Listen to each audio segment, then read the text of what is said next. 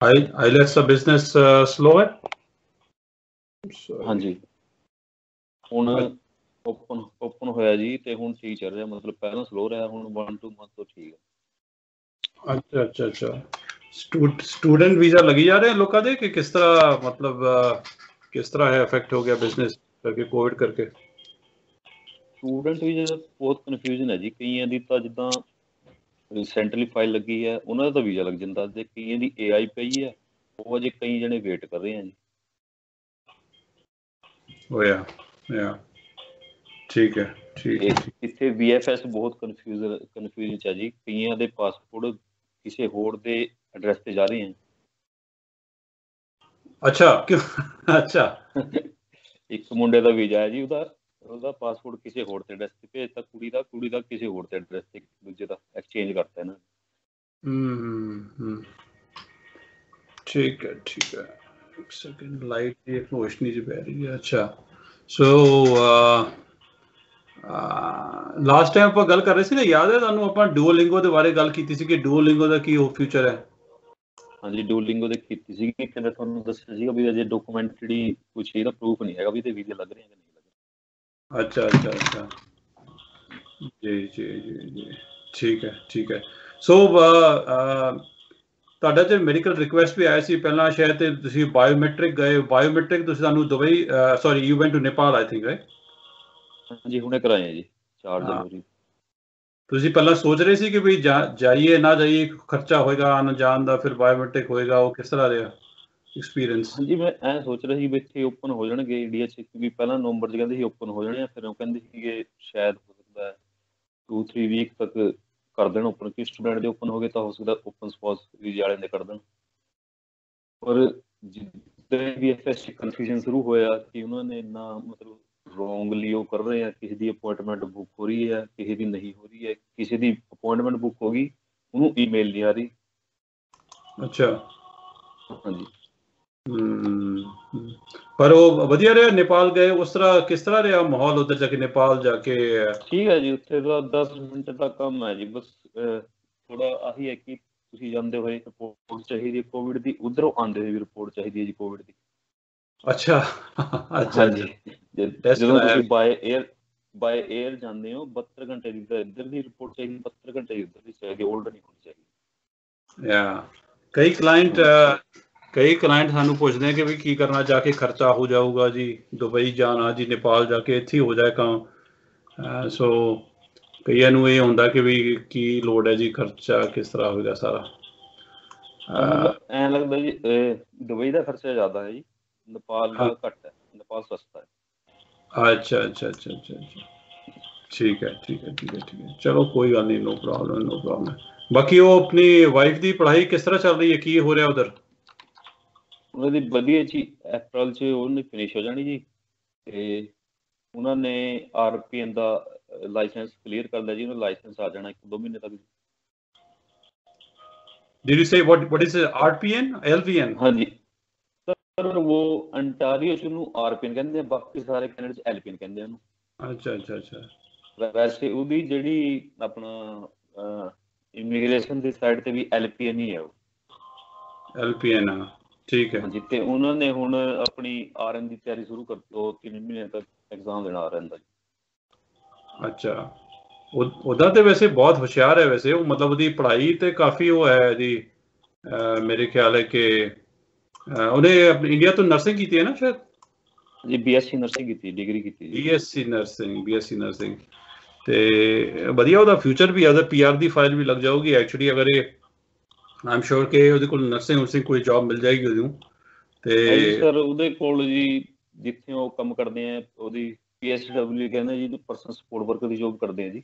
ਜੀ। ਤਾਂ long term care ਚ ਤੇ ਉਹੀ ਜਿੱਥੇ ਉਹ ਜੌਬ ਕਰਦੇ ਆ ਹੁਣ ਵਨ ਮੰਥ ਤੇ ਉਹ ਕਹਿੰਦੇ ਸੀ ਜੌਬ ਦੇਣਗੇ ਐਲਪੀਐਨ ਦੀ। ਜੀ ਐਂਡ ਸੈਲਰੀ ਅਪਰੋਕਸੀਮੇਟਲੀ ਸੈਲਰੀ ਕਿੰਨੀ ਹੈ? ਇਸ ਟਾਈਮ ਦੀ ਪੀਐਸਡਬਲਯੂ ਦੀ ਸੈਲਰੀ ਹੈਗੀ 16 16 ਪੁਆਇੰਟ ਕੁਛ ਹੈ ਜੀ। ਤੇ once she got she uh, license then they're gonna pay like 23 point something. Sir ji ਵਧੀਆ ਰਹੇ ਤੁਸੀਂ ਦੇਖੋ ਬਾਕੀ ਜਿਹੜੀ ਕੁੜੀਆਂ ਕੰਮ ਕਰਦੀਆਂ ਕੋਈ ਮੈਕਡੋਨਲਡ ਕਰ ਰਿਹਾ ਕੋਈ ਸਬਵੇ ਕੋਈ ਫਲਾਨਾ ਕੋਈ 14 15 ਡਾਲਰ ਤੇ ਖੜ ਗਿਆ ਉਤੇ ਸਾਰੇ ਇਹ ਤੇ ਇਹਦੀ ਤਰੱਕੀ ਬਹੁਤ ਹੋਣੀ ਹੈ। ਹਾਂਜੀ ਹਾਂਜੀ। ਕਿਉਂ ਆਪਣੀ ਇੱਕ ਲਾਈਨ ਇੱਕ ਵਾਰ ਬੰਦਾ ਫੜ ਦੇਣਾ ਜੀ ਫਿਰ ਥੋੜਾ ਸਹੀ ਰਹਿੰਦਾ ਅੱਗੇ ਤੱਕ ਜਾ ਕੇ ਜੀ ਜੀ ਜੀ। ਤੁਹਾਡੀ ਮੈਰਿਜ ਨੂੰ ਹੋ ਗਏ ਮੇਰੇ ਖਿਆਲ 5 ਸਾਲ ਹੋ ਗਏ ਨਾ ਮੈਰਿਜ ਨੂੰ ਸ਼ਾਇਦ? ਹਾਂਜੀ 5 ਸਾਲ ਹੋ ਗਏ ਜੀ। 5 ਸਾਲ ਮੈਰਿਜ ਹੋ ਗਏ ਤੇ 3 ਸਾਲ ਦੀ ਤੁਹਾਡੀ ਬੇਟੀ ਵੀ ਹੈ ਸ਼ਾਇਦ 3 ਸਾਲ 4 ਸਾਲ ਦੀ ਸ਼ਾਇਦ। 4 ਸਾਲ ਦੇ ਜੀ ਹਾਂਜੀ। 4 ਸਾਲ ਦੀ ਬੇਟੀ ਵੀ ਹੈ ਜੀ। ਕਾਫੀ ਕਾਫੀ ਲੰਬਾ ਸਟਰਗਲ ਹੋ ਗਿਆ ਕਾਫੀ ਮਤਲਬ ਪਹਿਲਾਂ ਮੇਰੇ ਖਿਆਲ ਤੁਸੀਂ ਕੁਝ ਹੋਰ ਕੰਟਰੀਆਂ ਗਏ ਆਸਟ੍ਰੇਲੀਆ ਗਏ ਨਿਊਜ਼ੀਲੈਂਡ ਗਏ ਉੱਥੇ ਵੀ 4-5 ਸਾਲ ਲਾਇਆ ਰਾਈਟ ਹੈ? ਹਾਂਜੀ ਆਸਟ੍ਰੇਲੀਆ ਸੀਗਾ ਜੀ। ਆਸਟ੍ਰੇਲੀਆ ਤੇ ਫਿਰ ਉੱਥੇ ਕਿਸੇ ਵਜ੍ਹਾ ਨਾਲ ਗੱਲ ਨਹੀਂ ਬਣੀ ਮੁੜ ਕੇ ਫਿਰ ਆ ਗਏ।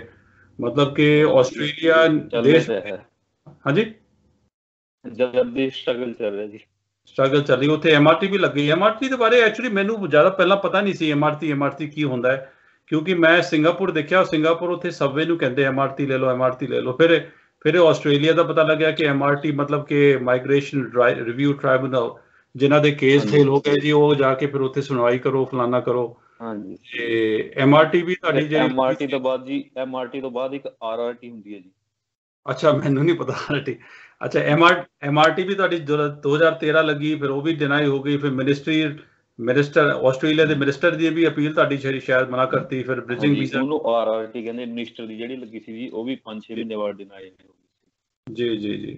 ਸੋ ਮਿਨਿਸਟਰ ਦਾ ਜਿਹੜਾ ਡਿਸੀਜਨ ਅਪੀਲ ਡਿਸੀਜਨ ਉਹ ਵੀ ਡਿਨਾਈ ਹੋ ਗਿਆ 2014 ਸ਼ਾਇਦ ਹੈ?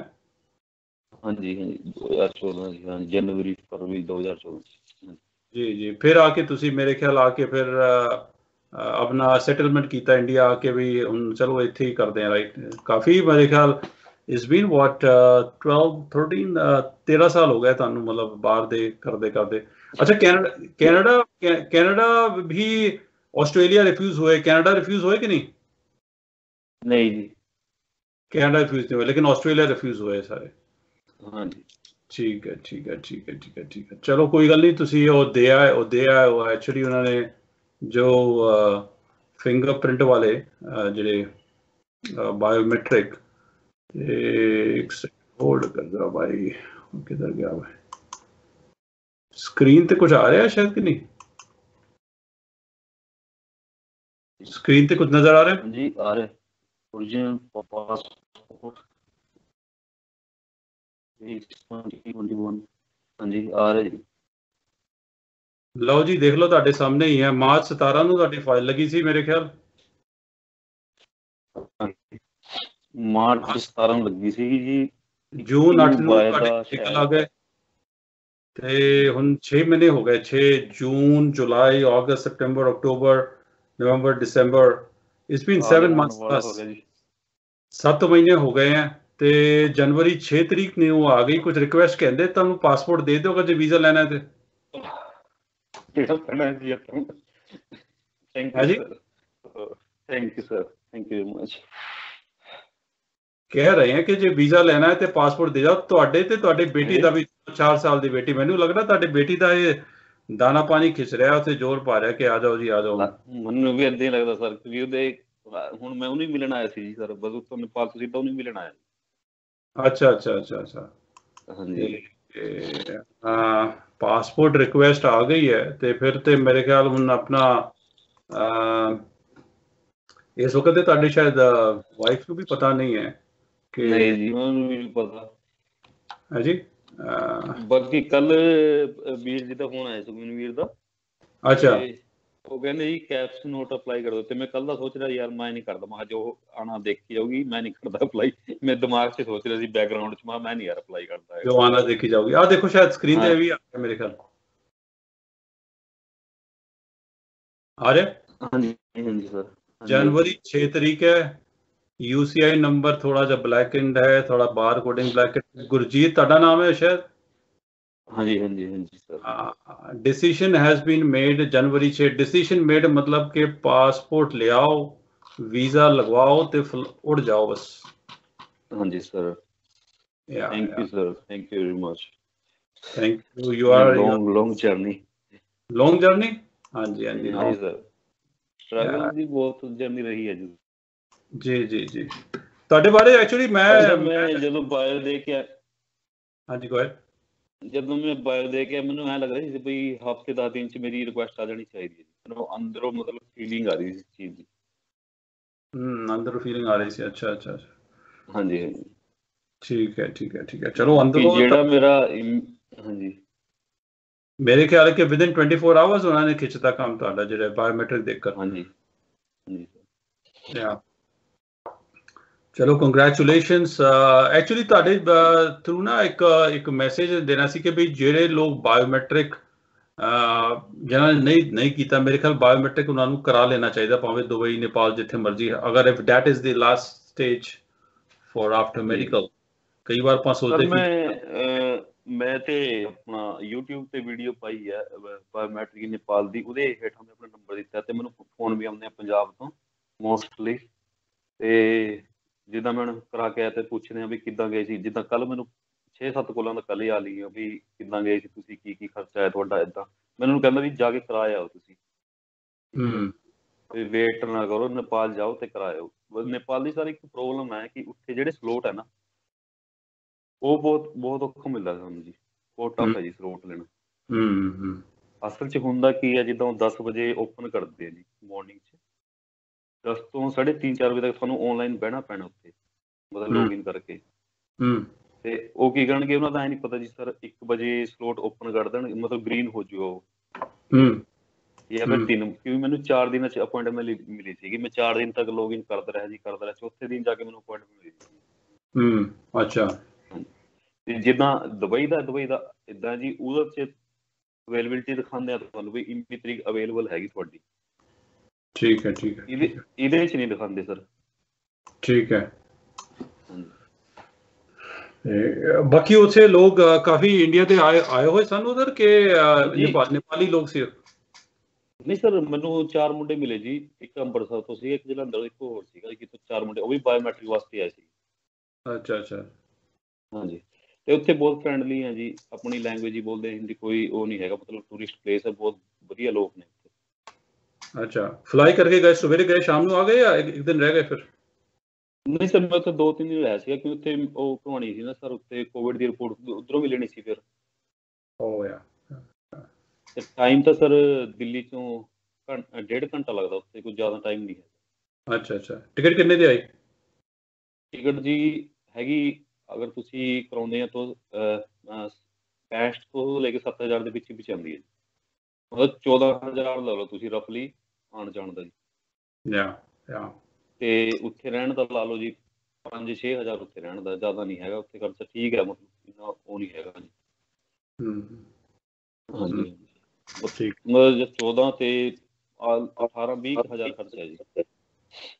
ਠੀਕ ਹੈ ਠੀਕ ਹੈ ਚਲੋ। ਤੇ ਦੁਬਈ ਦਾ ਇਹ ਤੋਂ ਡਬਲ ਹੈ ਜੀ ਮੰਨ ਲਓ 35-40 ਹਜ਼ਾਰ ਤੇ ਹਾਫ ਖਰਚੇ ਤੇ ਤੁਸੀਂ ਨੇਪਾਲ ਜਾ ਕੇ ਕਰਾ ਕੇ ਆ ਸਕਦੇ ਯਾ ਦੁਬਈ ਮਹਿੰਗੀ ਜਗ੍ਹਾ ਹੈ। ਚਲੋ ਦੈਟਸ ਦੈਟਸ ਵੰਡਰਫੁਲ ਜੋ ਹੋ ਗਿਆ ਸਭ ਠੀਕ ਹੈ ਵਧੀਆ ਹੋ ਗਿਆ ਕੰਮ ਤੇ ਪਾਸਪੋਰਟ ਰਿਕੁਐਸਟ ਆ ਗਈ ਹੈ ਤੁਸੀਂ ਹੁਣ ਪਾਸਪੋਰਟ ਵਾਲਾ ਜਮ੍ਹਾਂ ਕਰੋਗੇ ਵੀਐਫਐਸ ਨੇ ਫਿਰ ਆਪਣਾ ਕੰਮ ਕਰ ਦੇਣਾ ਪਹਿਲਾਂ ਉਹਨਾਂ ਨੂੰ ਕੋਰੀਅਰ ਦਾ ਉਹ ਸਕੇਜੂਲ ਕਰੋ ਫਿਰ ਕਰੋ ਹੋ ਜੀ ਸਕਦਾ ਟੂ ਵੇ ਪੂਰੀ ਸਰਵਿਸ ਹਾਂਜੀ ਹਾਂਜੀ ਹਾਂਜੀ ਹਾਂਜੀ। ਤੁਹਾਨੂੰ ਤਾਂ ਐਕਸਪੀਰੀਅੰਸ ਹੈ ਤੁਹਾਡੇ ਤੇ ਜਿਹੜੇ ਤੁਸੀਂ ਆਪ ਆਈਲੈਟਸ ਦਾ ਕੋਚਿੰਗ ਕਰਦੇ ਹੋ ਨਾ ਆਪ ਕਰਦੇ ਹੋ ਜਾਂ ਟੀਚਰ ਰੱਖੇ ਹੋਏ ਹੈ ਨਹੀਂ ਸਰ ਮੈਂ ਆਪੇ ਕਰਾਉਂਦਾ ਆਪ ਹੀ ਆਪ ਹੀ ਆਪ ਹੀ ਕਰਾ ਕਰਾ ਰਹੇ ਹੋ।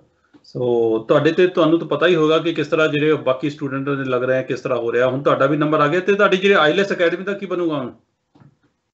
ਦੇਖਦੇ ਸਰ ਕੀ ਕਰੀਏ ਜਾਂ ਤਾਂ ਕੋਈ ਕਜ਼ਨ ਨੂੰ ਦੇਵਾਂਗਾ ਜਿੱਦਾਂ ਵੀ ਹੋਊਗਾ ਜਾਂ ਕੋਈ ਹਾਂ। ਰਿਲੇਟਿਵਸ ਅਗਰ ਤਿਆਰ ਹੋਵੇ ਅੱਛਾ। ਸਕਦਾ ਹਾਂਜੀ, ਅੱਛਾ। ਹਾਂਜੀ। ਠੀਕ ਹੈ ਠੀਕ ਹੈ ਠੀਕ ਹੈ ਠੀਕ ਹੈ। ਚਲੋ ਜਿੰਨੇ ਵੀ ਤੁਹਾਡੇ student all all they are in Canada when they will be wondering ਕਿ ਵੀ ਸਾਡੇ ਟੀਚਰ ਵੀ ਆ ਗਏ ਹੁਣ ਤੇ। ਹੈ ਹਾਂਜੀ ਸਰ ਉਹ ਮੈਨੂੰ ਪੁੱਛਦੇ ਰਹਿੰਦੇ ਸਰ ਮੈਂ ਕਹਿੰਦਾ ਮਹਾ ਅਜੇ ਤਾਂ ਵੇਟ ਤਾਂ ਕਰਨੀ ਪੈਣੀ ਪੇਸ਼ੈਂਸ ਰੱਖਣਾ ਪੈਣਾ ਜੀ। ਯਾ ਇੱਕ ਮੈਂ ਇੱਕ ਇੱਕ ਮੇਰੇ ਕਲੀਗ ਹੀ ਸੀ ਐਕਚੁਅਲੀ ਇੱਥੇ ਲੋਕਲ ਇਨ ਐਡਮਿੰਟਨ ਉਹ ਜਦ ਮੈਨੂੰ ਪਹਿਲਾਂ ਮਿਲਣ ਆਏ ਸੀ but I don't want to give give out the names though ਪਰ ਉਹ ਮੈਂ ਉਹਨਾਂ ਉਹ ਵੀ ਆਏ ਆਏ ਸਨ ਐਕਚੁਅਲੀ ਪੰਜਾਬ ਤੋਂ ਤੇ ਆਈਲੈਟਸ ਦਾ ਕੰਮ ਕਰਦੀ ਸੀ ਉੱਥੇ ਤੇ ਮੈਂ ਉਹਨਾਂ ਨੂੰ ਕਿਹਾ ਕਿ ਵੀ ਆਈਲੈਟਸ ਦੀ ਅਕੈਡਮੀ ਖੋਲ ਇਨ ਐਡਮਿੰਟਨ आईलेट्स भी बहुत गुड है। In fact in in Canada भी आईलेट्स का बिज़नेस बहुत जोरों शोरों चल रहा है क्योंकि हर एक जरा स्टूडेंट है उन्हें फिर तो आईलेट्स देनी है। पी एन पी देनी किसने पीआर देनी है कुछ है। बहुत तरीके नाल मतलब आईलेट्स की डिमांड तो हमेशा ही रहेगी आईलेट्स और एसएल पे बहुत इंग्लिश कोचिंग का बिज़नेस भी बहुत जोरों शोरों ना चल रहा है। In fact more than in Punjab it's in in Canada ਭਾਵੇਂ इंग्लिश हो या फ्रेंच हो। So it's an good opportunity for somebody like you कि तुम इतने ਆਪ ਆਕਰ ਆਪਣਾ ਬਜਾਏ ਕਿ ਨੌਕਰੀ ਉਕਰੀ ਕਰਨ ਦੇ ਆਈਲੈਸ ਦਾ ਕੰਮ ਵੀ ਇੱਥੇ ਖੋਲ ਸਕਦੇ ਹੋ ਜਿਹੜੇ ਮਰਜ਼ੀ ਸ਼ਹਿਰ ਨੌਕਰੀ ਤਾਂ ਉਧਰ ਕੁਝ ਬਣਦਾ ਹੀ ਨਹੀਂ ਮੈਂ ਪਹਿਲਾਂ ਕਰਕੇ ਦੇਖ ਚੁੱਕਿਆ ਉੱਧਰ ਮਤਲਬ ਇੰਨਾ ਹੈ ਨਹੀਂ ਉਹ ਤਾਂ ਨੌਕਰੀ ਦਾ ਇੰਨਾ ਕੁਝ ਜੀ ਆਸਟ੍ਰੇਲੀਆ ਤੁਸੀਂ ਰਹਿ ਚੁੱਕੇ ਹੋ ਆਸਟ੍ਰੇਲੀਆ ਤੁਹਾਨੂੰ 5 ਸਾਲ ਦਾ ਐਕਸਪੀਰੀਅੰਸ ਹੈ ਕਿ ਗੱਲ ਬੰਦੀ ਨਹੀਂ ਫਿਰ ਵੀ। ਨਹੀਂ ਨਹੀਂ ਬਣਨ ਦੀ sir end of the day you have to come to your own business ਜੀ ਜੀ। ਅਗਰ ਤੁਸੀਂ ਇੱਥੇ ਵਧੀਆ ਜ਼ਿੰਦਗੀ ਜੀਣੀ ਤਾਂ ਕਰਨਾ ਪੈਣਾ ਨਹੀਂ ਤਾਂ ਸਟਾਰਟਿੰਗ ਵਾਸਤੇ ਠੀਕ ਹੈ ਸਰ ਜੋਬਸ ਵਗੈਰਾ। ਤੇ ਜਿੱਦਾਂ ਕੋਈ ਫਸਟ ਟਾਈਮ ਇਨਵੈਸਟਮੈਂਟ ਕੰਟਰੀ ਜਾ ਰਿਹਾ ਉਹਦੇ ਵਾਸਤੇ ਠੀਕ ਹੈ। ਯਾ ਤੇ ਸਲੋਲੀ ਜਦ ਤੁਸੀਂ ਪਹਿਲਾਂ ਹੀ ਉੱਥੇ ਆ ਕੇ ਆਏ ਤੁਹਾਨੂੰ ਪਤਾ ਹੀ ਉੱਥੇ ਬਿਜ਼ਨਸ ਬਿਨਾ ਤੁਹਾਡਾ ਗੁਜ਼ਾਰਾ ਹੋਣਾ ਨਹੀਂ ਇੱਕ ਮੇਰੇ ਜਾਣਕਾਰ ਹੈ ਉਹ ਵੀ ਗਏ ਮੇਰੇ ਖਿਆਲ ਲੁਧਿਆਣੇ ਤੋਂ ਗਿਆ ਐਕਚੁਅਲੀ ਪਿਛਲੇ ਸਾਲ ਹੋ ਗਿਆ ਬੰਦਾ ਲੇਕਿਨ ਆਸਟ੍ਰੇਲੀਆ ਸ਼ਾਇਦ I don't know which city small city ਕੋਈ ਕਹਿ ਰਿਹਾ ਸੀ ਕੋਈ ਕਿਸੇ ਛੋਟੀ ਪ੍ਰੋਵਿੰਸ ਤੇ ਕਹਿੰ ਉਹ ਮੈਂ ਪੁੱਛਿਆ ਵੀ ਕੀ ਕਰਦੇ ਤੁਸੀਂ? ਆਸਟ੍ਰੇਲੀਆ ਕਹਿੰਦੇ ਅਸੀਂ ਤਾਂ ਉਹ ਕਰਦੇ ਹਾਂ ਡਿਲੀਵਰੀ ਜਿਹੜੇ ਉਬਰ ਡਿਲੀਵਰੀ ਹੁੰਦੇ ਜਿਹੜੇ ਫੂਡ ਡਿਲੀਵਰੀ ਉਬਰ ਈਟ ਤੇ ਮੈਨੂੰ ਮੈਨੂੰ ਤੇ ਕਹਿ ਮੈਨੂੰ ਤੇ ਕਹਿ ਰਹੇ ਹੋ ਕਿ 1000 ਡਾਲਰ ਬਣ ਜਾਂਦੇ ਰੋਜ਼ ਦੇ। ਨਹੀਂ ਸਰ ਇੰਨਾ ਵੀ ਨਹੀਂ ਬਣਦਾ ਹੈਗਾ। ਨਹੀਂ ਬਣ ਸਕਦਾ 1000 ਡਾਲਰ। ਮੈਂ ਮੈਂ ਮੈਂ ਕਿਹਾ ਵੀ 1000 ਡਾਲਰ ਬੰਦੇ ਆ ਰੋਜ਼ ਤੇ ਤੇ ਮੈਂ ਦੱਸੋ ਮੈਂ ਛੱਡ ਦੇਣਾ ਕੈਨੇਡਾ ਮੈਂ ਆ ਜਾਣਾ ਉੱਥੇ ਆਸਟ੍ਰੇਲੀਆ ਮੈਂ ਵੀ ਡਿਲੀਵਰੀ ਕਰ ਲੈਣਾ ਸਰ ਤਾਂ ਥੋੜੀ ਜੀ ਨਾ ਥੋੜੀ ਜੀ ਕੀ ਕਹਿੰਦੇ ਆ ਆਪਣੇ ਪੰਜਾਬੀਆਂ ਨੂੰ ਥੋੜੀ ਸੱਟਣ ਦੀ ਆਦਤ ਵੀ ਹੁੰਦੀ ਹੈ ਨਾ। ਅੱਛਾ। ਮੈਨੂੰ ਬੜੀ ਹੈਰਾਨੀ ਹੋਈ ਕਿ ਅਗਰ 1000 ਡਾਲਰ ਬੰਦੇ ਆ of course he is driving the he was driving the delivery for I think 12 10 ਤੋਂ 12 ਘੰਟੇ। ਲੇਕਿਨ 1000 ਡਾਲਰ ਮੈਨੂੰ ਲੱਗਦਾ ਕਿ 1000 ਆ ਜ਼ਰੂਰ ਆ ਸੱਚਾਈ ਹੈ ਸਰ ਕਿ ਆਸਟ੍ਰੇਲੀਆ 'ਚ ਪੈਸਾ ਕੈਨੇਡਾ ਨਾਲੋਂ ਜ਼ਿਆਦਾ ਬਣਦਾ। ਜੀ ਜੀ। ਉਹਦੇ ਦੋ ਰੀਜ਼ਨ ਹੈ ਸਰ ਕਿ ਜਿੱਦਾਂ ਤੁਸੀਂ ਸੈਟਰਡੇ ਕੰਮ ਕਰਦੇ ਤੁਹਾਨੂੰ 1 ਐਂਡ ਹਾਫ ਮਿਲਣਾ। ਡੇਢ ਗੁਣਾ ਜ਼ਿਆਦਾ ਮਿਲੂਗਾ ਜੀ। ਹਰ ਸੈਟਰਡੇ ਤੇ। ਤੇ ਜੇ ਤੁਸੀਂ ਸੰਡੇ ਨੂੰ ਕੰਮ ਕਰੋਗੇ ਤੁਹਾਨੂੰ ਡਬਲ ਮਿਲੂਗਾ ਜੀ। ਠੀਕ ਹੈ ਠੀਕ ਹੈ। ਆ ਰੀਜ਼ਨ ਹੈ ਕਿਉਂਕਿ ਕੈਨੇਡਾ ਤੁਹਾਨੂੰ ਸੰਡੇ ਨੂੰ ਡਬਲ ਨਹੀਂ ਮਿਲਦਾ ਇੱਥੇ ਨਹੀਂ ਮਿਲਦਾ ਡਬਲ ਡਬਲ ਸਾਡੀ ਇੱਥੇ ਦਾ ਜੌਬ ਮਿਲ ਜਾਏ ਬਹੁਤ ਹੀ ਬਹੁਤ ਹੈ ਇੱਥੇ ਡਬਲ ਦਾ ਨਹੀਂ ਸਿੱਖੀ ਅੱਛਾ। ਇਸ ਕਰਕੇ ਆਹੀ ਜਦੋਂ ਆਰਗੂਮੈਂਟ ਚੱਲਦੀ ਹੈ ਨਾ YouTube ਤੇ ਵੀ ਮੁੰਡੇ ਕਰਦੇ ਰਹਿੰਦੇ ਆ ਵੀ ਕੈਨੇਡਾ 'ਚ ਜਾਣਾ ਪੈਸਾ ਸੌਰੀ ਆਸਟ੍ਰੇਲੀਆ 'ਚ ਪੈਸਾ ਜਾਣਾ ਇਹਦਾ ਸਿਰਫ ਆਹੀ ਰੀਜ਼ਨ ਹੈ ਕਿ ਉੱਥੇ ਜਿੱਦਾਂ ਹੋਰ ਵੀਕਐਂਡ ਹੋਣਗੇ ਤੁਹਾਡੇ। ਯਾ ਉਹਦੇ ਕਰਕੇ ਤੁਹਾਨੂੰ ਪੈਸਾ ਬਣਦਾ ਜੀ।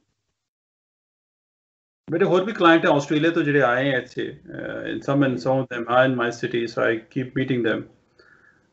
ਪਰ ਇਹ ਗਲਤ ਹੈ ਕਿ ਵੀ ਜਿੱਥੇ ਕੰਮ ਬਣੇ ਜਿੱਥੇ ਦਾਣਾ ਪਾਣੀ ਹੈ ਜਿੱਥੇ ਵੀਜ਼ਾ ਪੀਆਰ ਬਣਦਾ ਹੈ ਬਸ ਉਹ ਤਾਂ ਠੀਕ ਹੈ। ਹਾਂਜੀ ਹਾਂਜੀ ਕਿਉਂਕਿ ਕੈਨੇਡਾ ਤੇ ਹੁਣ ਹੁਣ ਸਿਰਫ ਕੈਨੇਡਾ ਹੀ ਹੈ ਜਿਹੜਾ ਪੀਆਰ ਦੇ ਆਸਟ੍ਰੇਲੀਆ ਤਾਂ ਪੀਆਰ ਬਹੁਤ ਔਖੀ ਹੈ ਇਸ ਟਾਈਮ ਠੀਕ ਹੈ ਠੀਕ ਹੈ ਠੀਕ ਹੈ ਠੀਕ ਹੈ ਚਲੋ। ਚਲੋ ਥੈਂਕ ਯੂ ਚੱਲ ਪਿਆ ਜੀ ਕਹਿੰਦੇ ਹਾਂਜੀ ਸਰ ਚਲੋ thank you Gurjeet very much ਕਰੋ ਤੁਸੀਂ ਰਿਲੈਕਸ ਤੇ ਤੁਹਾਨੂੰ ਉਹ ਦੇ ਦੇਾਂਗੇ ਜੋ ਜੋ ਲੈਟਰ ਹੈ ਉਹ ਲੈਟਰ ਜਾ ਕੇ ਜਮਾ ਕਰਕੇ ਆਪਣਾ ਉਹ ਵੀਐਫਐਸ ਦਾ ਕੰਮ ਕਰ ਲਓ। So you know in very very very good time uh, you will be in Canada. ਤੁਹਾਡੇ ਵਾਈਫ ਨੂੰ ਵੀ ਹਾਲੇ ਪਤਾ ਨਹੀਂ ਹੈ ਤੁਹਾਡੇ ਵਾਈਫ ਨੂੰ ਵੀ ਪਤਾ ਨਹੀਂ ਹੈ। ਨਹੀਂ ਸਰ ਉਹ ਜੌਬ ਤੇ ਹੈ ਇਸ ਟਾਈਮ ਸਰ ਉਹ ਜੌਬ ਤੇ ਹੈ ਅੱਛਾ ਅੱਛਾ। ਉਹਨੂੰ ਵੀ ਪਤਾ ਨਹੀਂ ਹੈ। ਤੇ ਬੇਟੀ ਵੀ ਸ਼ਾਇਦ ਐਕਸਾਈਟਿਡ ਹੋਗੀ ਆਪਣੀ ਮਾਂ ਨੂੰ ਮਿਲਣਾ ਉਹਨੇ।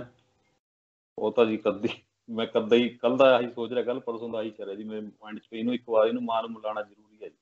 ਕਿਉਂਕਿ ਬੱਚੇ ਦਾ ਬਹੁਤ ਔਖਾ ਹੈ ਸਰ। ਜੀ ਜੀ ਜੀ ਫਾਦਰ ਤੇ ਮਦਰ 'ਚ ਆਹੀ ਫ਼ਰਕ ਹੈ ਕਿ ਫਾਦਰ ਥੋੜਾ ਜਿਹਾ ਥੋੜਾ ਸੁਭਾਅ ਹੋਰ ਹੁੰਦਾ ਜੀ ਮਦਰ ਨਾਲ ਬੱਚੇ ਦੀ ਬਹੁਤ ਜ਼ਿਆਦਾ ਅਟੈਚਮੈਂਟ ਹੁੰਦੀ ਹੈ ਜੀ। ਜੀ ਜੀ ਹਾਂਜੀ ਸਰ।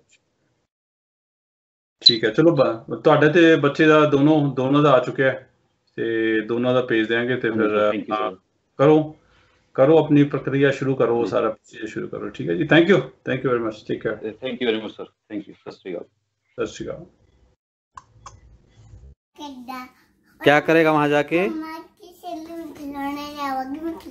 हाँ। कहा जाएगा?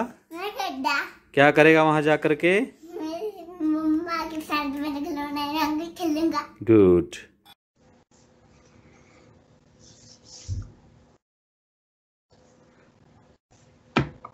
ਸਤਿ ਸ਼੍ਰੀ ਅਕਾਲ ਦੋਸਤੋ ਮੈਂ ਅਮਰਜੋਤ ਸਿੰਘ ਬੋਲ ਰਿਹਾ ਐਡਮਿੰਟਨ ਤੋਂ ਜਿੱਥੇ ਕਿ ਇਸ ਵਕਤ ਦੁਪਹਿਰ ਦੇ 3 ਵਜਣ ਲੱਗੇ ਆ ਤੇ ਸਨੋ ਵੀ ਥੋੜੀ ਪਿਘਲ ਰਹੀ ਹੈ ਥੋੜਾ ਥੋੜਾ ਚੱਲ ਰਿਹਾ ਮਾਈਨਸ 10 ਹੈ ਮਾਈਨਸ 11 ਹੈ ਠੰਡ ਵੈਸੇ it's not bad it's good weather for Edmonton ਮੇਰੇ ਨਾਲ ਜੁੜ ਚੁੱਕੇ ਹੈ Sukhneet Kaur from Barrie Ontario I think Barrie ਹਾਂਜੀ ਬੈਰੀ ਬੈਰੀ ਓਨਟਾਰੀਓ ਸੁਖਨੀਤ ਕੌਰ ਦੇ ਨਾਲ ਆਪਾਂ ਡਿਸਕਸ਼ਨ ਕਰਾਂਗੇ। ਸਪਾਊਸ ਵੀਜ਼ਾ ਬਹੁਤ ਅੱਜਕੱਲ ਚੱਲ ਰਿਹਾ ਹੈ ਸਿਸਟਮ ਕਿ ਸਪਾਊਸ ਵੀਜ਼ਾ ਕਾਫੀ ਬੈਕਲੌਗ ਕੇਸ ਚੱਲ ਰਹੇ ਸੀ ਪਿਛਲੇ for the past I think 1 year since February of last year ਤੇ ਹੁਣ ਸਪਾਊਸ ਵੀਜ਼ਾ ਦਾ ਥੋੜਾ ਜਿਹਾ ਰਸਤਾ ਖੁੱਲ ਗਿਆ ਥੋੜਾ ਜਿਹਾ ਇਨਕਰੀਜ਼ ਹੋਣ ਲੱਗਿਆ ਵਰਕ ਫਲੋ ਸੋ ਇਹਨਾਂ ਦੇ ਬਾਰੇ ਅੱਜ ਗੱਲ ਕਰਾਂਗੇ। ਇਹਨਾਂ ਦੀ ਐਪਲੀਕੇਸ਼ਨ ਦੇ ਬਾਰੇ ਤੇ ਕੀ ਇਹਨਾਂ ਦੀ ਸਮੱਸਿਆ ਸੀ, ਕੀ ਚੈਲੰਜ ਸੀ ਤੇ ਉਹਨਾਂ ਦਾ ਅਪਡੇਟ ਵੀ ਆਇਆ ਹੈ ਤੇ ਉਹਦੇ ਬਾਰੇ ਵੀ ਆਪਾਂ ਸ਼ੋ ਕਰਾਂਗੇ।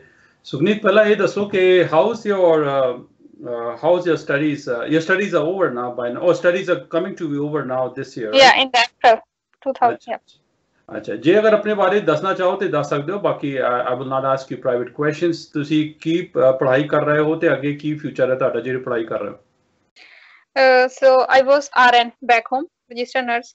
ਤੇ ਮੈਂ ਇੱਥੇ ਆ ਕੇ ਦੋ ਕੋਰਸ ਕਰ ਮਤਲਬ ਇੱਕ ਕੋਰਸ ਖਤਮ ਕਰਿਆ ਸੀ ਜਿਹੜਾ ਮੇਰਾ ਜੈਨ ਤੋਂ ਅਗਸਤ ਤੱਕ ਚੱਲਿਆ ਸੀ ਤੇ second course September to April and I just pass my registration practical nurse exam LPN ਯਾ ਐਲਪੀਐਨ ਐਲਪੀਐਨ ਅ, ਕਈ ਜਿਹੜੇ ਨਰਸਸ ਇਸ ਵਕਤ ਤੁਹਾਡੀ ਗੱਲ ਸੁਣ ਰਹੀਆਂ ਜਿਹੜੇ ਇੰਡੀਆ ਬੈਠੀਆਂ ਜਿਨ੍ਹਾਂ ਨੇ ਜੀਐਨਐਮ ਕੀਤਾ ਹੋਇਆ ਹੈ ਜਾਂ ਬੀਐਸਸੀ ਨਰਸਿੰਗ ਦੀ ਉਹਨਾਂ ਨੂੰ ਤੁਸੀਂ ਕੀ ਐਡਵਾਈਸ ਦਿਓਗੇ ਵੀ ਨਰਸਿੰਗ ਦਾ ਕੀ ਸਕੋਪ ਹੈ in Canada what is the nursing S. Field it's a wide ਬਹੁਤ ਜ਼ਿਆਦਾ ਸਕੋਪ ਆ ਬਟ ਮਤਲਬ ਇੱਕ ਗੱਲ ਹੈ ਕਿ ਜਦੋਂ ਵੀ ਨਰਸਾਂ ਵਾਸਤੇ ਐਨਐਨਐਸ ਹੁੰਦਾ ਹੈ, ਇੱਕ ਯੂਐਸ ਦੀ ਏਜੰਸੀ ਆ national nurse nursing assessment service ਤੇ ਮਤਲਬ ਮੈਂ ਇਹ ਕਹਿਣਾ ਚਾਹੂੰਗੀ ਕਿ ਆਪਣੀ ਐਪਲੀਕੇਸ਼ਨ ਇੰਡੀਆ ਤੋਂ ਓਪਨ ਕਰਕੇ ਆਇਓ, ਕਿਉਂਕਿ ਮੇਰੇ ਹਸਬੰਡ ਨੇ ਮੇਰੀ ਐਪਲੀਕੇਸ਼ਨ ਇੰਡੀਆ ਤੋਂ ਓਪਨ ਕਰੀ ਸੀ ਸੋ ਦੈਟਸ ਵਾਈ ਆਈ ਮੈਂ ਏਬਲ ਹੋਈ ਪੇਪਰ ਦੇਣ, ਅਹ ਮਤਲਬ ਵਿਦ ਇਨ 1 ਈਅਰ ਨਹੀਂ ਤਾਂ ਫਿਰ ਇੱਥੇ ਆ ਕੇ, ਅਗਰ ਤੁਸੀਂ ਇੱਥੇ ਆ ਕੇ ਐਨਐਨਐਸ ਦੀ ਐਪਲੀਕੇਸ਼ਨ ਸਟਾਰਟ ਕਰਦੇ ਹੋ, ਤਾਂ 2 2 3 3 ਸਾਲ ਲੱਗ ਜਾਂਦੇ ਆ।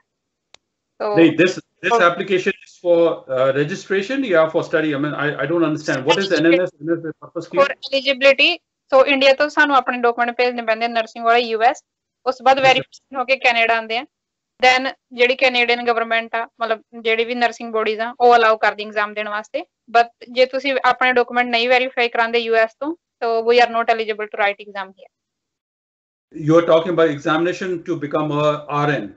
RN RN ਔਰ ਆਰਪੀਐਨ ਯਾ yeah. Okay okay good. So ਤੁਸੀਂ ਉਹ ਪਹਿਲਾਂ ਉਹ ਕਰਾਇਆ ਹੋਇਆ ਸੀ ਤੁਹਾਡਾ ਹੋ ਗਿਆ ਸਾਰਾ ਉਹ ਕਰਕੇ ਤੇ ਤੁਸੀਂ ਹੁਣ lpn ਬਣੇ ਹੋ ਰੀਸੈਂਟਲੀ ਰਾਈਟ lpn ਹਾਂਜੀ ਤੇ rn rn ਅਹ, ਕਦੋਂ ਬਣੋਗੇ ਤੁਸੀਂ rn ਲਈ ਹੋਰ ਐਕਸਟਰਾ ਸਟੈਪ ਲੈਣਾ ਤੁਸੀਂ ਹੁਣ ਨਹੀਂ ਮੇਰੀ ਸਟੱਡੀ ਕੰਪਲੀਟ ਹੋ ਗਈ ਹੈ ਮੈਂ ਡਾਕੂਮੈਂਟ ਸੈਂਡ ਕੀਤੇ ਆ so I'm gonna write my RN in this March ਅੱਛਾ ਅੱਛਾ ਅੱਛਾ ਐਗਜ਼ਾਮੀਨੇਸ਼ਨ ਮੁਸ਼ਕਿਲ ਹੈ ਟਫ ਹੈ ਉਹ हाँ मैं बहुत मेहनत करी है मैं सेवन टू एट मंथ पढ़ी हाँ eight to ten hours every day या इट्स सो हार्ड ਜੀ ਜੀ ਜੀ ਸੋ ਕਈ ਕਈ ਜਿਹੜੇ ਇੰਡੀਆ ਤੋਂ ਜਿਹੜੀ ਕੁੜੀਆਂ ਆ ਰਹੀਆਂ ਜਿਨ੍ਹਾਂ ਨੇ ਨਰਸਿੰਗ ਕੀਤੀ ਹੋਈ ਹੈ ਕਈ ਵਾਰ ਏਜੰਟ ਉਹਨਾਂ ਨੂੰ ਕਿਸੇ ਹੋਰ ਕੋਈ ਪ੍ਰੋਗਰਾਮ 'ਚ ਕਹਿੰਦੇ ਕਿ ਵੀ ਤੁਸੀਂ ਬਿਜ਼ਨਸ ਕਰ ਲਓ ਆਪਣਾ ਕਰ ਲਓ मतलब what is what is your step what is your advice ਕਿ ਕੀ ਕਿਹੜਾ ਕੋਰਸ ਕਰਨਾ ਚਾਹੀਦਾ ਹੈ in future to just to get study just like you practical course लेना चाहिए है क्योंकि when I was in India so we sir ਚਾ ਲੋੜ ਪ੍ਰੋਗਰਾਮ ਤੇ ਮਤਲਬ ਅਸੀਂ ਜਿਹੜੇ ਵੀ ਏਜੰਟ ਕੋਲ ਜਾਂਦੇ ਸੀ ਉਹ ਸਾਰੇ ਥਿਉਰੀ ਵਾਲਾ ਪ੍ਰੋਗਰਾਮ ਕਹਿੰਦੇ ਸੀ। ਵੈਸੇ ਕਹਿੰਦੇ ਸੀ ਕਿ ਅਸੀਂ ਤੁਹਾਨੂੰ ਪਹਿਲਾਂ ਥਿਉਰੀ ਦਵਾਂਗੇ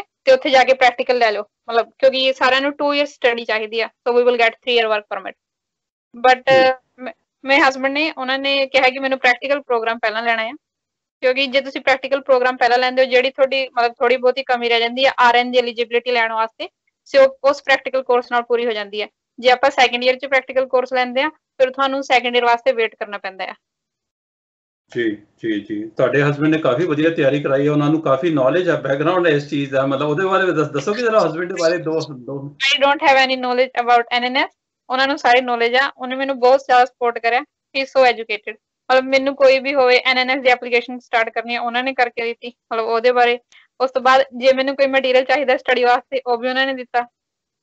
ਮੇਰੇ ਵਾਸਤੇ ਕੋਰਸ ਚੂਜ਼ ਕਰਿਆ ਸੀ ਪ੍ਰੈਕਟੀਕਲ ਕੋਰਸ ਉਹ ਵੀ ਉਹਨਾਂ ਨੇ ਕੀਤਾ। ਤੁਹਾਡੇ ਹਸਬੰਡ ਮੇਰੇ ਖਿਆਲ ਇਸ ਵਕਤ ਆਈਲੈਟਸ ਦੀ ਅਕੈਡਮੀ ਆਈਲੈਟਸ ਦਾ ਬਿਜ਼ਨਸ ਰਨ ਕਰ ਰਹੇ ਹੈ ਪੰਜਾਬ ਸੌਰੀ ਹਰਿਆਣਾ। ਹਾਂਜੀ ਆਇਲਸ ਵੀ ਉਹਨਾਂ ਨੇ ਮੈਨੂੰ ਹੀ ਕਰਾਈ ਸੀ ਘਰ ਤਿਆਰੀ ਕਰਾਈ ਸੀ ਮੇਰੀ 40 ਡੇਜ਼ ਅੱਛਾ ਅੱਛਾ ਅੱਛਾ। ਅੱਛਾ। ਉਹਨਾਂ ਨਾਲ ਮੇਰੀ ਪਹਿਲਾਂ ਵੀ ਗੱਲ ਹੋ ਚੁੱਕੀ ਹੈ ਕੁਝ ਟਾਈਮ ਕੁਝ ਦਿਨ ਪਹਿਲਾਂ। ਤੇ ਮੈਂ ਉਹਨਾਂ ਨੂੰ ਰਾਏ ਦਿੱਤੀ ਸੀ ਕਿ ਅਗਰ ਜੇ ਤੁਸੀਂ ਆਓਗੇ ਕੈਨੇਡਾ ਤੇ ਤੁਸੀਂ ਆਪਣਾ ਆਈਲੈਟਸ ਦਾ ਬਿਜ਼ਨਸ ਕੰਟੀਨਿਊ ਕਰਨਾ ਇੱਥੇ ਆਈਲੈਟਸ ਦੀ ਹਰ ਇੱਕ ਨੂੰ ਲੋੜ ਹੈ। ਹਾਂਜੀ ਹਾਂਜੀ। ਕੱਲ ਪਰਸੋਂ ਹੀ ਮੇਰੀ ਕਿਸੇ ਨਾਲ ਗੱਲ ਹੋ ਰਹੀ ਸੀ ਓਨਟਾਰੀਓ ਤੁਹਾਡੇ ਟੋਰਾਂਟੋ ਇੱਕ ਐਪਲੀਕੈਂਟ, ਉਹ ਵੀ ਮੇਰੀ ਕਲਾਇੰਟ ਸੀ ਪਹਿਲਾਂ, ਹੁਣ ਵੀ ਕਲਾਇੰਟ ਹੈ ਐਕਚੁਅਲੀ ਤੇ ਮੈਨੂੰ ਉਹ ਕਹਿ ਰਹੀ ਕਿ ਉਹਨਾਂ ਨੇ ਕਿਹਾ I was shocked actually I did not know what to even say to her ਕਿ ਉਹਨਾਂ ਨੇ ਪੰਜ ਜਾਂ ਛੇ ਵਾਰ ਆਪਣਾ ਆਈਲੈਟਸ ਦਿੱਤਾ ਟੋਰਾਂਟੋ, ਤੇ ਉਹਨਾਂ ਦੇ ਮਤਲਬ ਕਿ ਇੰਗਲਿਸ਼ ਇੰਪਰੂਵ ਨਹੀਂ ਹੋ ਰਹੀ। After staying in Canada for more than I think 2 years or 3 years English ਦੇ ਸਕੋਰ ਹਾਈ ਨਹੀਂ ਜਾ ਰਹੇ। ਜਿਹੜੇ ਟ੍ਰੇਨਿੰਗ ਕਰਦੇ ਆ, ਉਹ ਟ੍ਰੇਨਿੰਗ ਕਰਕੇ ਕਹਿ ਤੇ ਰਹੇ ਆ ਕਿ ਵੀ ਕਰਾਂਗੇ, ਲੇਕਿਨ ਉਹ ਇੰਪਰੂਵ ਨਹੀਂ ਹੋ ਰਹੀ।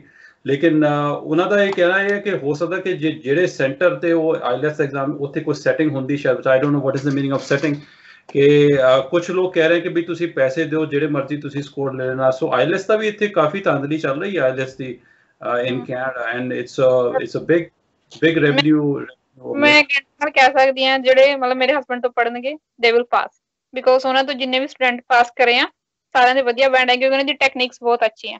ਉਹ ਐਦਾਂ ਨਹੀਂ ਸਿਖਾਉਂਦੇ ਹੈਗੇ ਤੁਸੀਂ ਰੱਟਾ ਮਾਰੋ ਜਾਂ ਐਦਾਂ ਨਹੀਂ ਕਹਿੰਦੇ ਹੈਗੇ ਸਿਰਫ ਕੀਵਰਡ ਲੱਭੋ ਠੀਕ ਹੈ? ਕਿਉਂਕਿ ਉਹਨਾਂ ਨੇ ਮੇਰੀ ਰੀਡਿੰਗ ਇੰਪਰੂਵ ਕਰਾਈ ਮੇਰੀ ਲਿਸਨਿੰਗ ਕਰਾਈ I got like 7 band in reading ਜੀ ਜੀ ਜੀ। ਤੇ ਉਹ ਬਹੁਤ ਵਧੀਆ ਪੜਾਉਂਦੇ ਆ ਹਾਂਜੀ। ਮਤਲਬ ਕਾਫੀ ਜਿਹਨਾਂ ਨੇ ਪੜਿਆ ਜਿਨ੍ਹਾਂ ਨੇ ਪਹਿਲਾਂ 4 4 5 ਵਾਰੀ 5 5 5.5 5 ਬੈਂਡ ਲਿੱਤੇ ਆ ਉਹਨਾਂ ਦੇ ਬਹੁਤ ਨੰਬਰ ਆਏ ਹੁਣ। ਮੈਂ ਰਿਸੈਂਟਲੀ ਦੋ ਦੋ ਬੱਚਿਆਂ ਦੇ ਆਏ ਸੀ ਹਾਂਜੀ। ਜੀ ਜੀ। ਓਕੇ ਕੋਈ ਗੱਲ ਨਹੀਂ ਮੈਂ ਤੁਸੀਂ ਉਹਨਾਂ ਮੇਰੇ ਖਿਆਲ ਕੰਪਿਊਟਰ ਤੇ ਹੋ ਜਾਂ ਫੋਨ ਤੇ ਹੋ ਮੈਂ ਫੋਨ ਤੇ ਆ sir One thing, if I show you some document, would you be able to see it? Uh, let me just try to show you here. Uh, let's see if I can show you here. Just a minute. Uh, how do I do that? Uh, one second. Or can you see your WhatsApp by now or no? How? Maybe not. Uh, No, I- Step two. Hmm. Okay. Let me show you a document. If I go to the WhatsApp, then I cannot see your picture. Acha, yes, yes, one second. Uh, okay. Uh,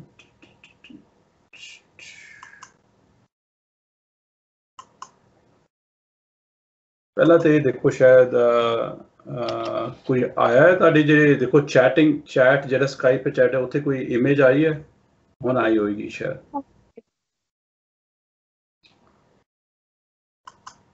ਇੱਕ ਤੇ image ਆਈ ਹੈ ਕੀ ਕਹਿ ਰਹੀ ਹੈ image Hmm. Confirmation of online application transmission.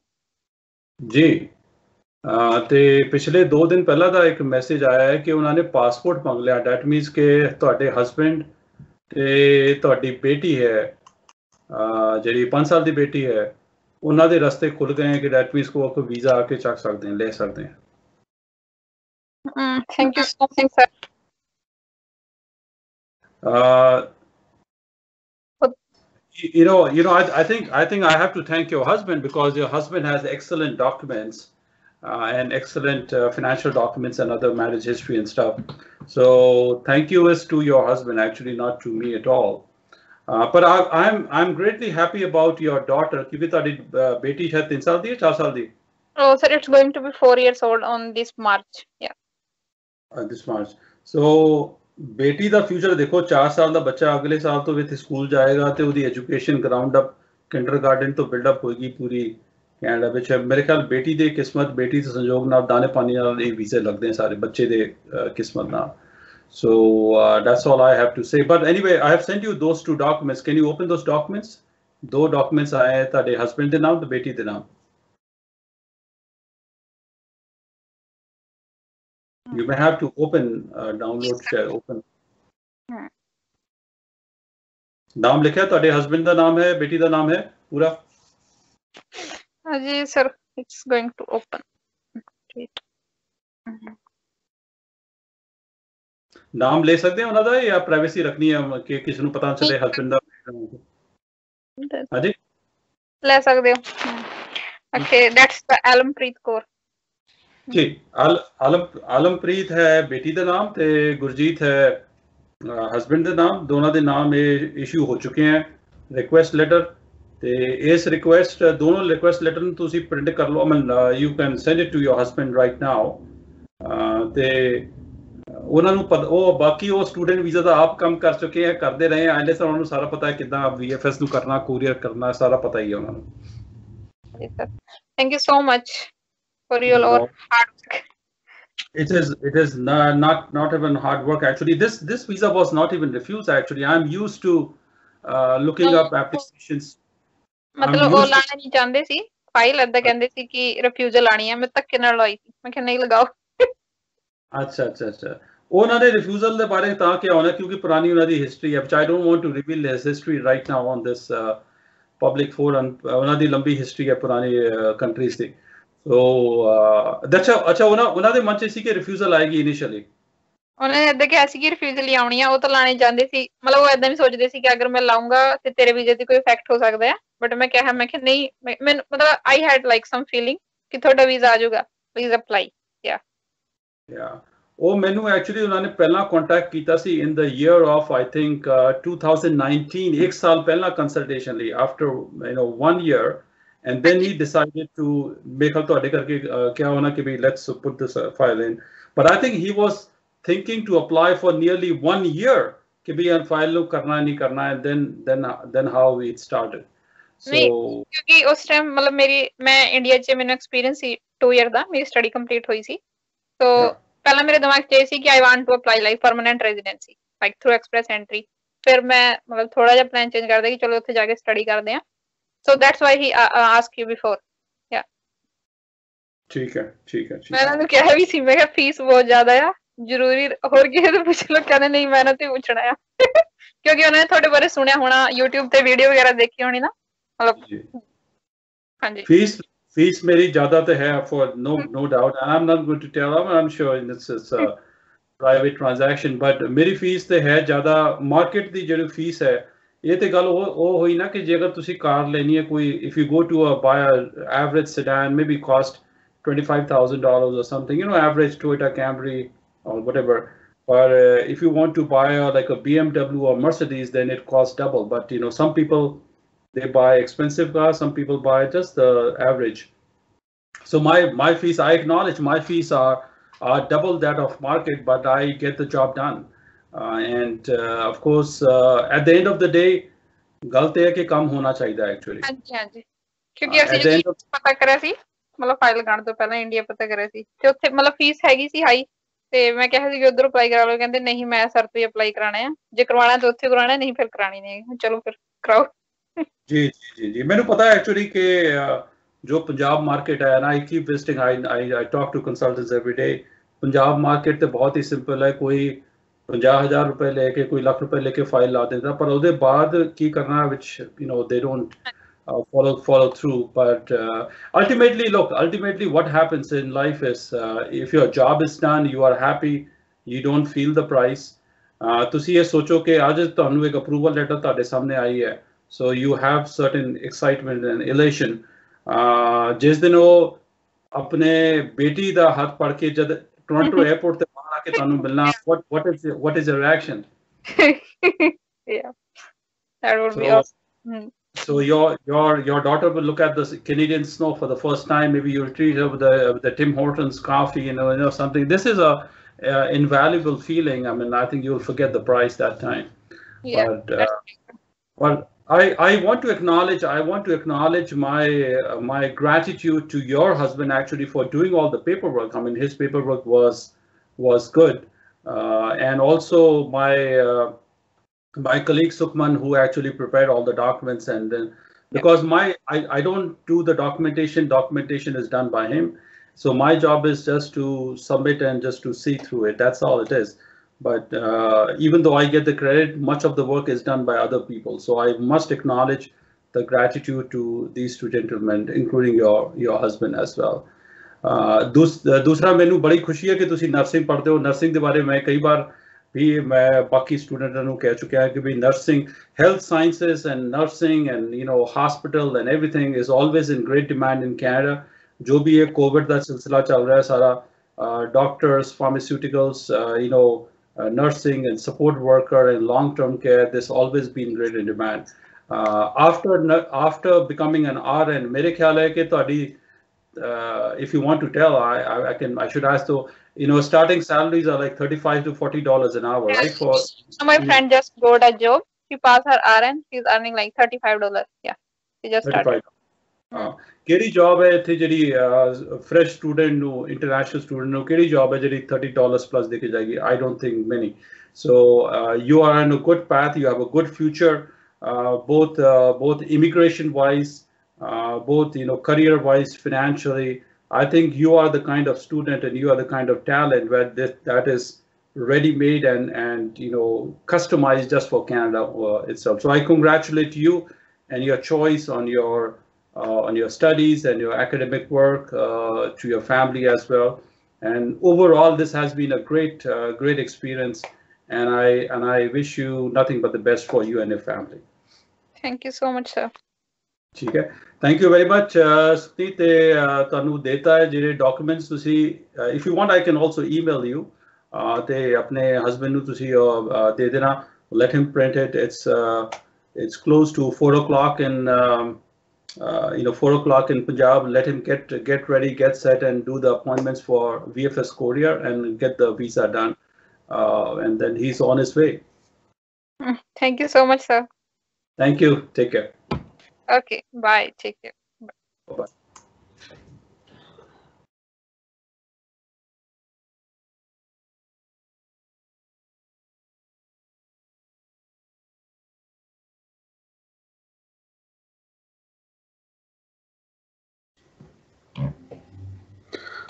ਦੋਸਤੋ, ਅੱਜ ਫਰਵਰੀ 6 ਤਰੀਕ ਹੈ ਤੇ ਗੁਰਜੀਤ ਸਿੰਘ ਆ ਚੁੱਕੇ ਹੈ, ਕੈਨੇਡਾ ਪਹੁੰਚ ਚੁੱਕੇ ਹੈ, ਜਿਨ੍ਹਾਂ ਨਾਲ ਅਸੀਂ ਪਹਿਲਾਂ ਵੀ ਇੱਕ ਵਾਰ ਇੰਟਰਵਿਊ ਕੀਤੀ ਸੀ ਕਿ ਵੀ ਇਹਨਾਂ ਦਾ ਵੀਜ਼ਾ ਲੱਗਿਆ। ਸੋ ਗੁਰਜੀਤ ਸਿੰਘ ਨਾਲ ਗੱਲ ਕਰਦੇ ਹਾਂ। ਗੁਰਜੀਤ ਸਿੰਘ, ਕਿਸ ਤਰ੍ਹਾਂ ਲੱਗ ਰਿਹਾ? ਕੈਨੇਡਾ ਆ ਕੇ ਤੁਹਾਨੂੰ ਕਿਦਾਂ ਲੱਗ ਰਿਹਾ? ਤੁਹਾਨੂੰ ਉਹੀ ਜੋ ਕੈਨੇਡਾ ਸੋਚਿਆ ਸੀ ਤੁਹਾਡੇ ਬਾਰੇ ਜਿਹੜੇ ਜੋ ਇੱਕ ਮੈਂ ਸੋਚ ਰਿਹਾ ਸੀ ਕਿ ਵੀ ਤੁਹਾਨੂੰ, ਕਿਉਂਕਿ ਤੁਸੀਂ ਪਹਿਲਾਂ ਵੀ ਫੋਰਨ ਟਰੈਵਲ ਕਰ ਚੁੱਕੇ ਹੋ। ਤੇ ਕੈਨੇਡਾ ਦੀ ਜੋ ਇਮੇਜ ਸੀ, ਉਹੀ ਕੈਨੇਡਾ ਇਮ- ਇੱਥੇ ਦਿਸਦਾ ਹੈ ਕਿ ਕੁਝ ਹੋਰ ਫ਼ਰਕ ਹੈ? ਸੀਗਾ ਸਰ ਸਤਿ ਸ਼੍ਰੀ ਅਕਾਲ। ਸਰ ਜੀ ਹਾਂ ਵਧੀਆ ਜੀ। ਤੇ ਪਰ ਇੱਥੇ ਆ ਕੇ ਇਦਾਂ ਲੱਗਿਆ ਵੀ ਜਿੱਦਾਂ ਪੰਜਾਬ ਹੀ ਹੋਵੇ ਕਿਉਂਕਿ ਇੱਥੇ ਹਰ ਥਾਂ ਪੰਜਾਬੀ ਹੈ ਮੋਸਟਲੀ ਟੈਕਸੀ 'ਚ ਹੋਟਲ 'ਚ ਹਰ ਥਾਂ ਤੇ। ਤੇ ਉਹਦਾ ਇਮੀਗ੍ਰੇਸ਼ਨ ਇੱਥੇ ਦੀ ਮੈਨੂੰ ਪੋਲਾਈਟ ਲੱਗੀ ਆਸਟ੍ਰੇਲੀਆ ਨਾਲੋਂ ਕਿ ਆਸਟ੍ਰੇਲੀਆ 'ਚ ਕੁਝ ਰਫ ਹੈ ਇਮੀਗ੍ਰੇਸ਼ਨ ਜ਼ਿਆਦਾ। ਠੀਕ ਹੈ ਠੀਕ ਹੈ ਠੀਕ ਹੈ ਠੀਕ ਹੈ। ਤੁਸੀਂ ਇੱਥੇ ਠਹਿਰੇ ਹੋ ਨਾ ਮੇਰੇ ਖਿਆਲ ਬਰੈਂਪਟਨ ontario ਠਹਿਰੇ ਹੋ ਸ਼ਾਇਦ ਕੁਆਰੰਟਾਈਨ ਲਈ। ਨਹੀਂ ਟੋਰਾਂਟੋ ਦੇ 에어ਪੋਰਟ ਦੇ ਕੋਲੇ ਆ ਸਰ ਮੈਂ। ਜੀ ਜੀ ਜੀ ਠੀਕ ਹੈ ਠੀਕ ਹੈ ਠੀਕ ਹੈ। ਸੋ 에어ਪੋਰਟ ਤੇ ਤੁਹਾਡੀ ਜਿਹੜੀ ਇਮੀਗ੍ਰੇਸ਼ਨ ਕੁਐਸਚਨ ਕਿਸ ਤਰ੍ਹਾਂ ਹੋਈ? ਕੋਈ ਇੰਟਰਵਿਊ ਤਾਂ ਨਹੀਂ ਹੋਇਆ?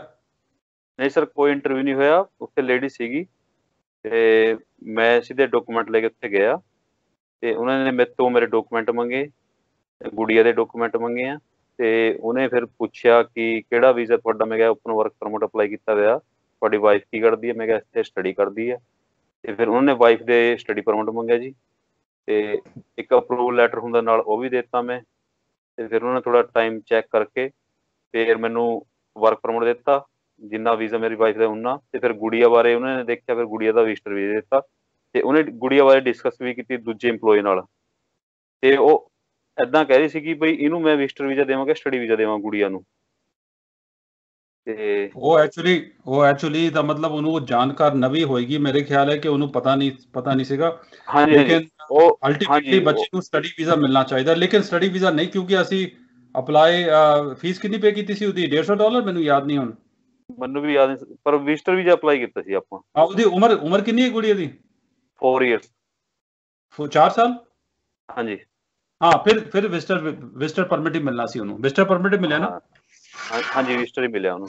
ਹਾਂ ਠੀਕ ਹੈ ਠੀਕ ਹੈ that's good that's good so ਉਸ ਕਰਕੇ ਉਹਦੇ ਮਨ 'ਚ ਡਾਊਟ ਆ ਗਿਆ ਕਿਉਂਕਿ ਅਗਰ ਜੇ 5 ਸਾਲ ਪਲੱਸ ਹੁੰਦੀ ਤੇ ਕਿਉਂਕਿ ਅਸੀਂ ਪਹਿਲਾਂ ਹੀ ਪਤਾ ਸੀ ਕਿ ਉਹਨੂੰ ਸਟੱਡੀ ਪਰਮਿਟ ਨਹੀਂ ਮਿਲਣਾ ਸੀ ਕਿਉਂਕਿ she is less than 5 so visitor permit ਹੀ ਉਹਨੇ ਮੈਨੂੰ ਪੁੱਛਿਆ ਵੀ ਸੀ ਕਿ ਤੁਸੀਂ ਇਹਨੂੰ ਸਕੂਲ ਭੇਜੋਗੇ ਤੇ ਮੈਂ ਉਹਨੂੰ ਕਿਹਾ ਵੀ ਮੈਂ ਮੈਂ ਜਿੱਥੇ ਤੱਕ ਮੇਰੀ ਨੌਲੇਜ ਹੈ ਮੈਨੂੰ ਲੱਗਦਾ ਇੱਥੇ 5 ਇਅਰਸ ਤੋਂ ਸਕੂਲਿੰਗ ਸ਼ੁਰੂ ਹੁੰਦੀ ਹੈ। ਤੇ ਜਿੰਨਾ ਚਿਰ ਅਸੀਂ ਸਟੇ ਕਰਾਂਗੇ ਜਿੰਨਾ ਚਿਰ ਸਾਡਾ ਵੀਜ਼ਾ ਅਸੀਂ ਕਿੰਡਰਗਾਰਟਨ ਵਗੈਰਾ ਜਿਹੜਾ ਪਲੇ ਸਕੂਲ ਉੱਥੇ ਜ਼ਰੂਰ ਭੇਜਾਂਗੇ ਇਹਨੂੰ। ਜੀ ਜੀ ਜੀ ਓਪਨ ਹੋਏ ਓਪਨ ਹੋਏ ਤਾਂ। ਜੀ। ਹਾਂਜੀ। ਤੇ ਉਹਨੂੰ ਮੈਨੂੰ ਮੈਨੂੰ ਵੀ ਇਹ ਕੁਐਸਚਨ ਕੀਤਾ ਸੀ ਵੀ ਤੁਸੀਂ ਤੋਂ ਜਦ ਤੱਕ ਤੁਹਾਡਾ ਵੀਜ਼ਾ ਕੰਟਰੀ ਸਟੇ ਕਰੋਗੇ ਉਸ ਤੋਂ ਬਾਅਦ ਐਕਸਟੈਂਸ਼ਨ ਲਓਗੇ ਕੀ ਕਰੋਗੇ? ਅੱਛਾ ਇਹ ਵੀ ਸਵਾਲ ਹਾਂਜੀ। ਹਾਂਜੀ ਮੈਨੂੰ ਐਂ ਲੱਗਦਾ ਸਰ ਉਹਨੇ ਰਿਲੇਟ ਕਰਕੇ ਇਸ ਕਰਕੇ ਪੁੱਛਿਆ ਗੁੜੀ ਦੇ ਰਿਲੇਟ ਕਰਕੇ 네ਗੇਟਿਵ ਚ ਨਹੀਂ ਉਹਨੇ ਪੋਜ਼ਿਟਿਵ ਚ ਪੁੱਛਿਆ ਸੀਗਾ ਵੀ ਵੀ ਅਗਰ ਤੁਸੀਂ ਪਹਿਲਾਂ ਸਟੇ ਅੱਗੇ ਸਟੇ ਕਰੋਗੇ ਤਾਂ ਮੈਨੂੰ ਵਿਜ਼ਟਰ ਸ਼ਾਇਦ ਸਟੱਡੀ ਵੀਜ਼ਾ ਕਰਨ ਨੂੰ ਕਹਿੰਦੀ ਹੋਏ ਗੁੜੀਆ ਦਾ ਇਸ ਕਰਕੇ ਪੁੱਛਿਆ ਜੀ ਉਹਨੇ ਆ ਕੁਐਸਚਨ ਯਾ ਯਾ ਯਾ ਹਾਂਜੀ। ਠੀਕ ਹੈ। ਠੀਕ ਹੈ। ਚਲੋ ਇਸ ਤੋਂ ਇਲਾਵਾ ਹੋਰ ਕੋਈ ਸਵਾਲ ਨਹੀਂ? ਨਹੀਂ ਤੋਂ ਇਲਾਵਾ ਹੋਰ ਕੋਈ ਸਵਾਲ ਨਹੀਂ ਉਹਨੇ ਪੁੱਛਿਆ ਕੁਛ ਉਹਨੇ ਨਾ ਪਰਮਿਸ਼ਨ ਦੇਖੀ ਉਹਨੇ ਉਹਨੇ ਕੁਛ ਨਹੀਂ ਦੇਖਿਆ sir. That's good that's good. ਤੁਹਾਡੇ ਨਾਲ ਹੋਰ ਵੀ ਜਿਹੜੇ ਐਪਲੀਕੈਂਟਸ ਆ ਰਹੇ ਸੀ ਤੁਹਾਡੇ ਵਰਗੇ ਜਿਹੜੇ ਸਪਾਊਸ ਵੀਜ਼ਾ ਵਾਲੇ ਉਹਨਾਂ ਨਾਲ ਕੋਈ ਹੋਰ ਕੋਈ ਸਖਤਾਈ ਜਾਂ ਕੋਈ ਕੁਐਸਚਨਿੰਗ ਹੋ ਰਹੀ ਸੀ। ਦੇਖੀ ਤੁਸੀਂ? ਹਾਂਜੀ ਮੇਰੇ ਨਾਲ ਇੱਕ ਮੁੰਡਾ ਖੜਾ ਸੀ ਉਹਦੇ ਨਾਲ ਬੜੀ ਸਖਤਾਈ ਵਰਤੀ ਇੱਕ ਨੇ ਤੇ। ਉਹ ਇੱਥੇ ਸਟੱਡੀ ਬੇਸ ਤੇ ਸੀਗਾ ਉਹ ਇੰਡੀਆ ਜਾ ਕੇ ਆਇਆ ਸਰ ਤੇ ਉਹਨੂੰ ਉਹ ਕਹਿ ਰਿਹਾ ਸੀਗਾ ਉਹਦਾ ਅਫਸਰ ਵੀ ਤੂੰ ਇੰਡੀਆ ਕਾਹਤੋਂ ਗਿਆ ਪੈਂਡੈਮਿਕ ਹਾਂ ਤੇ ਉਹ ਕਹਿੰਦਾ ਵੀ ਮੇਰੇ ਫਾਦਰ ਹਾਰਟ ਅਟੈਕ ਦੇ ਮਰੀਜ਼ ਨੇ ਉਹ ਨੇ ਉਹ ਕਹਿੰਦਾ ਫਿਰ ਉਹਦਾ ਕੋਈ ਪ੍ਰੂਫ ਦੱਸ ਮੈਨੂੰ ਰਿਪੋਰਟ ਵਗੈਰਾ ਦਿਖਾ ਮਤਲਬ ਉਹ ਬਹੁਤ ਸਖਤਾਈ ਨਾਲ ਗੱਲ ਕਰ ਰਿਹਾ ਸੀ ਉਹਦੇ ਨਾਲ। ਉਹ ਕਿਉਂਕਿ ਉਹ ਚਾਹੁੰਦੇ ਨਹੀਂ ਹੈਗੇ ਵੀ ਪੈਂਡੈਮਿਕ ਚ ਕੋਈ ਬਿਨਾਂ ਗੱਲ ਤੋਂ ਬਾਹਰ ਜਾਵੇ ਕੰਟਰੀ ਫਿਰ ਦੁਬਾਰੇ ਆਵੇ ਇੱਥੇ। ਜੀ ਜੀ ਜੀ ਜੀ। ਹਾਂਜੀ ਤੇ ਉਹਦੇ ਨਾਲ ਉਹਨੂੰ ਬਹੁਤ ਟਾਈਮ ਤੱਕ ਉਹਦੇ ਡਾਕੂਮੈਂਟ ਚੈੱਕ ਕੀਤੇ ਨੇ। ਫਿਰ ਮੈਂ ਦੇਖ ਰਿਹਾ ਸੀ ਕਦੇ ਮੇਰੇ ਨਾਲ ਵੀ ਇਦਾਂ ਹੀ ਨਾ ਹੋਵੇ। ਹਾਂ। ਹਾਂ ਤੇ ਹਾਂਜੀ ਹਾਂਜੀ। ਠੀਕ ਹੈ ਠੀਕ ਹੈ ਠੀਕ ਹੈ। ਚਲੋ ਤੇ ਇੱਕ ਸਰ ਉਹਨਾਂ ਨੂੰ ਜ਼ਿਆਦਾਤਰ ਇੱਕ ਥੋੜਾ ਨਾ ਇਰੀਟੇਟ ਹੁੰਦੇ ਆ ਕਿ ਉਹਨਾਂ ਨੇ ਪਹਿਲਾਂ ਆਪਣੀ ਸਾਈਟ ਤੇ ਪਾਇਆ ਵੀ ਅਰਾਈਵ ਕੈਨ ਐਪ ਤੁਸੀਂ ਡਾਊਨਲੋਡ ਕਰਕੇ ਉੱਤੇ ਆਪਣੀ ਡਿਟੇਲ ਭਰ ਦਿਓ। ਜੀ। ਤੇ ਕਈ ਜਿਹੜੇ ਸਟੂਡੈਂਟ ਆਏ ਸੀਗੇ ਉਹਨਾਂ ਨੇ ਕੀਤੀ ਨਹੀਂ ਸੀ ਅਰਾਈਵ ਕੈਨ ਐਪ ਤੇ। ਇੱਕ ਨੇ ਨਹੀਂ ਕੀਤੀ ਦੋ ਨੇ ਨਹੀਂ ਕੀਤੀ ਚਾਰ ਨੇ ਨਹੀਂ ਕੀਤੀ ਫਿਰ ਉਹ ਇਰੀਟੇਸ਼ਨ ਹੋ ਜਾਂਦੀ ਹੈ ਉਹਨਾਂ ਨੂੰ। ਵੀ ਅਸੀਂ ਜਿਹੜਾ ਸਾਰਾ ਕੁਝ ਸਾਈਟ ਤੇ ਪਾਇਆ ਫਿਰ ਵੀ ਆ ਕਰਦੇ ਨਹੀਂ ਹੈਗੇ ਹਨਾ? ਇੱਥੇ ਆ ਕੇ ਇਹਨਾਂ ਨੂੰ ਬਾਰ-ਬਾਰ ਦੱਸਣਾ ਪੈਂਦਾ ਤੇ ਉੱਥੇ ਨੈਟ ਵੀ ਬੜਾ ਸਲੋ ਸੀ ਸਰ ਜੀ ਜੀ ਹਾਂਜੀ। ਚਲੋ ਫਿਰ ਵੀ ਉਹ ਹੈਂਡਲ ਤਾਂ ਕਰਦੇ ਉਹਨਾਂ ਕੋਲ ਸਾਰਾ ਪ੍ਰੋਸੈਸ ਹੁੰਦਾ ਪਰ ਫਿਰ ਵੀ ਜੇ ਪਹਿਲਾਂ ਹੀ ਥੋੜਾ ਅਪ ਫਰੰਟ ਕਰੇ ਨਾ ਥੋੜਾ ਉਹਨਾਂ ਨੂੰ ਈਜ਼ੀ ਰਹਿੰਦਾ ਆਪਾਂ ਨੂੰ ਵੀ ਈਜ਼ੀ ਰਹਿੰਦਾ। ਜੀ। ਹੁਣ ਤੁਹਾਨੂੰ ਸਪਾਊਸ ਜਿਹੜਾ ਵਰਕ ਪਰਮਿਟ ਹੈਗਾ ਤੁਹਾਨੂੰ ਕਿੰਨੇ ਸਾਲ ਦਾ ਮਿਲ ਗਿਆ? 1 ਸਾਲ ਦਾ 2 ਸਾਲ ਦਾ? ਜਿੰਨੀ ਸਟੱਡੀ ਹੈ ਜੀ ਵਾਈਫ ਦੀ ਜੁਲਾਈ ਤੱਕ ਦੀ। ਕਦੋਂ ਤੱਕ ਹੈ? ਮਤਲਬ 10 2 ਸਾਲ ਹੈ? ਕਿੰਨੀ ਰਹਿ ਗਈਆਂ? ਨਹੀਂ ਜੁਲਾਈ ਇਸ ਜੁਲਾਈ ਤੱਕ ਹੈ ਸਰ। ਅੱਛਾ ਇਸ ਜੁਲਾਈ ਤੱਕ ਇਸ ਜੁਲਾਈ ਤੱਕ। ਅੱਛਾ ਅੱਛਾ। ਚਲੋ ਠੀਕ ਹੈ। ਚਲੋ ਉਹਦੇ ਨਾਲ ਹੀ ਫਿਰ ਐਕਸਟੈਂਡ ਹੋ ਜਾਏਗਾ ਉਹ ਤੇ ਚਲੋ ਕੋਈ। ਠੀਕ ਹੈ।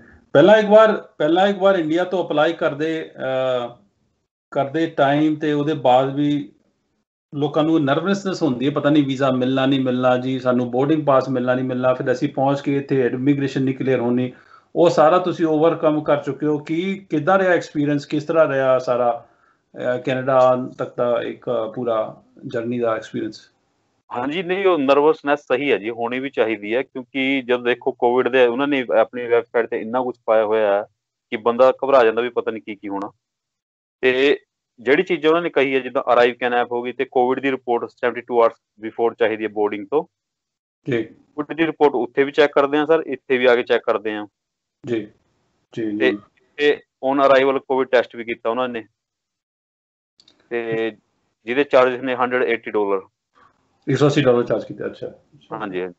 ਤੇ ਉਹਦੀ ਰਿਪੋਰਟ ਦੇਣਗੇ ਮਤਲਬ 48 ਆਵਰਸ ਦੇ ਵਿੱਚ ਉਹਨੇ ਈਮੇਲ ਤੇ ਸੈਂਡ ਕਰ ਦੇਣੀ ਰਿਪੋਰਟ ਉਹਦੀ। ਜੀ। ਜੇ ਅਗਰ ਰਿਪੋਰਟ ਕਲੀਅਰ ਰਿਪੋਰਟ ਕਲੀਅਰ ਹੈ ਫਿਰ ਤੁਸੀਂ ਕੁਆਰੰਟੀਨ ਤੋਂ ਛੁੱਟ ਜਾਓਗੇ ਦਿਨ ਚਾਰ ਦਿਨ ਤੱਕ ਜਾਂ ਨਹੀਂ? ਤੇ ਇਹਦੇ ਕੁਆਰੰਟਾਈਨ ਤਾਂ ਫਿਰ ਵੀ ਹੋਣੀ ਹੈ 14 ਡੇਜ਼ ਹੋਣੀ ਹੈ ਰਿਪੋਰਟ ਕਲੀਅਰ ਹੋਵੇ ਜਾਂ ਨਹੀਂ ਹੋਵੇ। ਜੀ ਜੀ ਜੀ ਜੀ ਜੀ, ਠੀਕ ਹੈ। 5 ਇਅਰਸ ਤੱਕ ਹੈ ਸਰ ਕਿਉਂਕਿ ਗੁੜੀਆ 4 ਇਅਰਸ ਦੀ ਸੀ ਨਾ ਉਹਨਾਂ ਨੇ ਪੁੱਛਿਆ ਸੀ ਨਾ ਮੈਂ ਉਹਨਾਂ ਨੂੰ ਦਿਖਾਤਾ ਫਿਰ ਪਾਸਪੋਰਟ ਦਿਖਾਇਆ ਕੋਵਿਡ ਵਾਲਿਆਂ ਨੂੰ ਵੀ ਇੱਧਰ ਆ ਕੇ।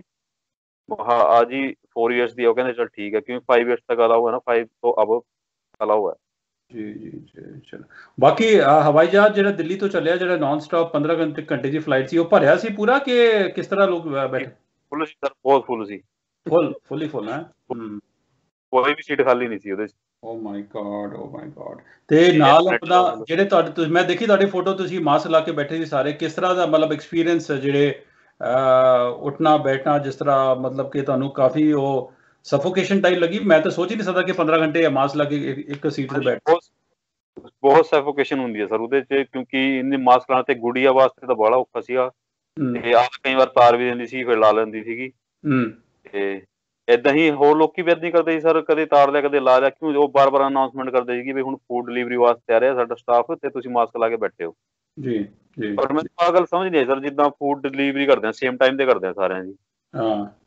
ਤੇ ਉਸ ਟਾਈਮ ਸਾਰੇ ਮਾਸਕ ਤਾਰ ਕੇ ਫੂਡ ਖਾਂਦੇ ਆ ਠੀਕ ਹੈ ਡਰਿੰਕ ਵੀ ਲੈਂਦੇ ਆ ਸਾਰਾ ਕੁਝ ਕਰਦੇ ਆ ਵਾਟਰ ਪੀਂਦੇ ਆ ਨਾ। ਤੇ ਉਸ ਟਾਈਮ ਵੀ ਤਾਂ ਵਾਇਰਸ ਫੈਲ ਸਕਦਾ। ਜੀ ਜੀ ਜੀ ਜੇ ਅਗਰ ਇਨਫੈਕਸ਼ਨ ਹੋਣਾ ਹੈ ਤੇ ਤੇ ਹਵਾਈ ਜਹਾਜ਼ ਦੀ ਜਿਸ ਤਰ੍ਹਾਂ ਹੁਣ ਕਲੋਜ਼ ਸਪੇਸ ਹੈ 3 350 ਬੰਦਾ ਬੈਠਾ ਹੈ ਜੇ ਅਗਰ ਇੱਕ ਉਹ 2 ਮਿੰਟ ਲਈ ਵੀ ਉਹਨਾਂ ਦਾ ਮਾਸਕ ਥੱਲੇ ਨੂੰ ਆ ਗਿਆ ਜੇ ਸਾਹ ਨਿਕਲ ਗਈ ਤੇ ਵਾਇਰਸ ਤੇ ਘੁੰਮ ਘੁੰਮ ਜਾਏਗਾ ਸਾਰੇ ਪੂਰੇ ਜਗ੍ਹਾ। ਸੋ ਪਤਾ ਨਹੀਂ ਕਿਸ ਤਰ੍ਹਾਂ ਕੀ ਅੱਛਾ ਮੈਂ ਇੱਕ ਬੜਾ ਬੜੇ ਹੈਰਾਨੀ ਮੈਨੂੰ ਹੁੰਦੀ ਹੈ ਜਿਸ ਤਰ੍ਹਾਂ ਹੁਣ ਕੈਨੇਡਾ ਤੁਸੀਂ ਆ ਗਏ ਹੋ ਦੇਖਦੇ ਹੋ ਇੱਥੇ ਸਖਤਾਈ ਬਹੁਤ ਹੈ। ਕਰੋਨਾ ਵਾਇਰਸ ਦਾ ਮਾਸ ਲਾ ਲਓ ਕਰੋ ਉਹ ਜਿਹੜੇ ਕਿਸਾਨ ਬੈਠੇ ਆ ਜਿਹੜੇ ਇੰਡੀਆ ਦੇ ਕਿਸਾਨ ਜਿਹੜੇ ਉਹ ਅੰਦੋਲਨ ਕਰ ਰਹੇ ਆ, ਉਹਨਾਂ ਨੂੰ ਤਾਂ ਕਰੋਨਾ ਵਾਇਰਸ ਹੁੰਦਾ ਨਹੀਂ ਕੁਝ ਨਹੀਂ ਸਰ ਆਪਣੇ ਇੱਥੇ ਤਾਂ ਹੈ ਹੀ ਨਹੀਂ। ਹੁਣ ਉੱਥੇ ਸਰਕਾਰ ਨੇ ਵੀ ਛੱਡਤਾ ਇਹਦਾ ਪਿੰਡਾ ਤੇ ਆਪੇ ਲੋਕਾਂ ਨੇ ਵੀ ਛੱਡ ਮਤਲਬ ਕਿ ਹੈ ਹੀ ਨਹੀਂ ਉੱਥੇ ਤਾਂ ਜੀ। ਫਿਰ ਇਹ ਇਹ ਕੀ ਵਜ੍ਹਾ ਹੈ? ਸਮਝ ਨਹੀਂ ਆ ਰਿਹਾ ਕਿ ਵੀ ਇੰਡੀਆ ਜਿਸ ਤਰ੍ਹਾਂ ਕੰਟਰੀ 'ਚ ਕੋਈ ਨਾ ਕਰੋਨਾ ਨਾ ਕਰੋਨਾ ਕੁਛ ਨੇ, ਕੋਈ ਨਾ ਸਿਰਦਰਦੀ, ਨਾ ਕੁਛ ਹੈ। ਇੱਥੇ ਲੋਕੀ ਮਤਲਬ ਇੰਨੀ ਤੁਸੀਂ ਦੇਖੋ ਕਿ ਸੋ ਕਾਲ ਡਿਵੈਲਪ ਕੰਟਰੀ 'ਚ ਇੰਨੀ ਬਿਮਾਰੀ ਆਪ ਕਰ ਲਓ ਜੀ, ਆਹ ਕਰ ਲਓ ਜੀ ਟੈਸਟ ਕਰਾਓ, ਫਲਾਨਾ 180 ਡਾਲਰ ਦਾ ਇਹ ਕਰਾਓ, ਫਿਰ ਮਾਸਕ ਪਾਓ। ਸਮਝ ਨਹੀਂ ਲੱਗਦੀ ਕਿ ਵੀ ਇਹ ਕਰੋਨਾ ਦਾ ਕੀ ਕਦੋਂ ਤੱਕ ਪਿੰਡ ਛੁੱਟੇਗਾ ਇੱਥੇ ਕੈਨੇਡਾ ਦਾ? ਨਹੀਂ ਕੈਨੇਡਾ ਤਾਂ ਔਖਾ ਹੈ ਜੀ ਛੁੱਟਣਾ। ਯਾ ਯਾ ਸੋ ਮੇਰੇ ਖਿਆਲ ਤੁਹਾਡੇ ਵਾਈਫ ਨੇ ਮੈਨੂੰ ਬਹੁਤ ਵਧੀਆ ਦੱਸਿਆ ਕਿਉਂਕਿ ਉਹ ਨਰਸਿੰਗ ਕਰਦੀ ਹੈ ਉਹਨੇ ਮੈਨੂੰ ਕਿਹਾ ਸੀ ਕਿ ਵੀ ਸਾਡੇ ਇੱਥੇ ਕੈਨੇਡਾ ਦੇ ਲੋਕ ਨਾ ਕਮਜ਼ੋਰ ਹੈ ਕਮਜ਼ੋਰ ਮਤਲਬ ਇਮਿਊਨਿਟੀ ਕਮਜ਼ੋਰ ਹੈ ਸਾਡੀ ਇੱਥੇ। So India. ਇੰਡੀਆ ਦੇ ਲੋਕ ਤੇ ਫਿਰ ਓਪਨ ਸਾਰਾ ਕੰਮ ਹੈ ਉਹਨਾਂ ਦਾ ਓਪਨਲੀ ਉਹ ਕਰਦੇ ਐਕਸਪੋਜ਼ ਹੈ ਸਾਰੇ ਤਰ੍ਹਾਂ ਤਰ੍ਹਾਂ ਦੇ ਬਿਮਾਰੀਆਂ। ਕਰੋਨਾ ਕੀ ਵੱਡੀ ਵੱਡੀ ਬਿਮਾਰੀਆਂ ਨਾਲ ਉਹਨਾਂ ਦਾ ਪਹਿਲਾਂ ਪਾਲਾ ਪੜ ਚੁੱਕਿਆ ਹੈ ਉਹਨਾਂ ਨੂੰ ਕਰੋਨਾ ਦਾ ਕੀ ਕਰ ਦੇਗਾ? ਜਿਹੜਾ ਸਰ ਸਰ ਇਮਿਊਨਾਈਜੇਸ਼ਨ ਸਿਸਟਮ ਹੈ ਨਾ ਉਹ ਵੀ ਆਹੀ ਹੁੰਦਾ ਹੈ ਨਾ ਵੀ ਸਾਡੇ ਐਕਸਪੋਜ਼ ਕਰਦੇ ਆ ਸਾਨੂੰ ਵਾਇਰਸ ਨੂੰ ਉਹਦੇ ਸਾਡੇ ਬੋਡੀ ਡਾਲਦੇ ਆ। ਤੇ ਆਪਾਂ ਜਿਹੜਾ ਉੱਥੇ ਰਹਿੰਦੇ ਆ ਸਾਰੇ ਵਾਇਰਸ ਬਚਪਨ ਤੋਂ ਲੈ ਕੇ ਯੰਗ ਏਜ ਤੱਕ ਸਾਡੀ ਬੋਡੀ 'ਚ ਆਉਂਦੇ ਜਾਂਦੇ ਰਹਿੰਦੇ ਤੇ ਸਾਨੂੰ ਇੰਨਾ ਇਫੈਕਟ ਨਹੀਂ ਹੁੰਦਾ ਉਹਨਾਂ ਨਾਲ। ਤੇ। ਇੱਥੇ ਸਫ਼ਾਈ ਜ਼ਿਆਦਾ ਹੋਣ ਕਰਕੇ ਜਾਂ ਕੋਈ ਨਇਆ ਵਾਇਰਸ ਇਹਨਾਂ ਨੂੰ ਆ ਜੇ ਐਕਸਪੋਜ਼ ਹੋਦੇ ਤੇ ਉਹ ਥੋੜਾ ਡੇਂਜਰਸ ਹੋਏ ਤਾਂ ਇਹਨਾਂ ਨੂੰ ਜ਼ਿਆਦਾ ਮਹਿਸੂਸ ਹੁੰਦਾ ਉਹ। ਉਹੀ ਉਹੀ ਵਕਤ ਪਾ ਦਿੰਦਾ ਇੱਥੇ ਬਾਕੀ ਤੁਸੀਂ ਅ, ਤੁਹਾਡਾ ਇਹ ਪਹਿਲਾ ਦਿਨ ਹੈ ਕੈਨੇਡਾ ਆਏ ਹੋ ਤੁਹਾਨੂੰ ਇੰਡੀਆ ਦੀ ਯਾਦ ਆ ਰਹੀ ਹੈ? ਘੱਟ ਆ ਰਹੀ ਹੈ ਜੇ ਤਾਂ ਨਹੀਂ ਆ ਰਹੀ ਸਰ। ਐਕਚੁਅਲੀ ਆ ਰਹੀ ਹੈ ਪਹਿਲਾ ਪਹਿਲਾ ਦਿਨ ਹੈ ਬ੍ਰੈਂਡ ਨਿਊ ਐਕਸਪੀਰੀਅੰਸ ਹੈ। ਅੱਜ ਤੁਸੀਂ ਆਪਣੀ। ਵਾਈਫ ਤੁਸੀਂ ਵਾਈਫ ਨਾਲ ਵੀ ਮਿਲਣ ਵਾਲੀ ਤੇ ਵਾਈਫ ਨਾਲ ਮੀਟਿੰਗ ਵੀ ਨਹੀਂ ਹੋਈ ਹੁਣ ਤੱਕ? ਹਾਂਜੀ ਹਾਂਜੀ ਬਸ ਇੱਥੇ ਹੀ ਆਪਣਾ WhatsApp ਤੇ ਵੀਡੀਓ ਕਾਲ ਹੋ ਰਹੀ ਜੀ ਅਜੇ ਤਾਂ। ਸਹੀ ਹੋ ਰਹੀ ਹੈ ਠੀਕ ਹੈ ਚਲੋ। ਚਲੋ thank you very much Gurjeet welcome to Canada I wish you best of luck best of the journey for future ਹੌਲੀ ਹੌਲੀ ਤੁਸੀਂ ਵੀ ਜਿਸ ਤਰ੍ਹਾਂ ਹੋਰ ਹਜ਼ਾਰਾਂ ਲੋਕ ਆ ਰਹੇ ਹੈ ਸੈੱਟ ਹੋ ਰਹੇ ਹੈ ਕੰਮ ਕਰ ਰਹੇ ਹੈ ਪੀਆਰ ਬਣ ਰਹੇ ਹੈ ਇਨ ਫਿਊਚਰ ਸਿਟੀਜ਼ਨ ਬਣ ਰਹੇ ਤੁਸੀਂ ਵੀ ਆਪਣੇ ਅੰਦਰ ਮੇਨ ਸਟ੍ਰੀਮ ਵਿੱਚ ਦਾਖਲ ਹੋ ਗਏ ਹੋ ਜਾਓਗੇ ਪੂਰਾ। ਤੇ I wish you best of luck and ਤੁਹਾਡੀ ਬਹੁਤ ਹੀ ਇੱਕ ਲੰਬੀ ਇੱਕ ਮਿਹਨਤ ਤਪੱਸਿਆ ਰਹੀ ਹੈ। ਆਸਟ੍ਰੇਲੀਆ ਵੀ ਤੁਸੀਂ ਦੇਖ ਲਿਆ ਬਾਕੀ ਕੰਟਰੀ ਵੀ ਦੇਖ ਲਈ ਅਲਟੀਮੇਟਲੀ ਕੰਮ ਇੱਥੇ ਕੈਨੇਡਾ ਹੀ ਆ ਕੇ ਬੰਨਾ ਸੀ। ਤੇ ਅੱਜ 6 ਤਰੀਕ ਨੂੰ ਤੁਸੀਂ ਪਹੁੰਚ ਵੀ ਗਏ ਹੋ ਕੈਨੇਡਾ ਤੇ I have best wishes for you and your daughter ਹਾਂਜੀ ਥੈਂਕ ਯੂ ਸਰ ਠੀਕ ਹੈ thank you take care take care enjoy the rest of the day bye thanks sir